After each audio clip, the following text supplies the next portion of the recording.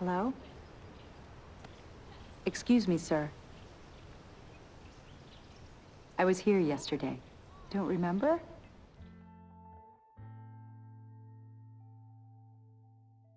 I was looking at you like, well, like a piece of art. It wasn't personal. You were looking right at me. You looked like...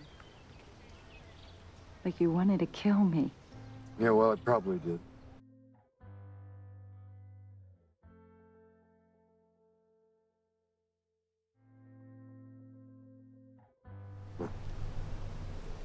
Lady? Clarissa. Look, lady. Go home.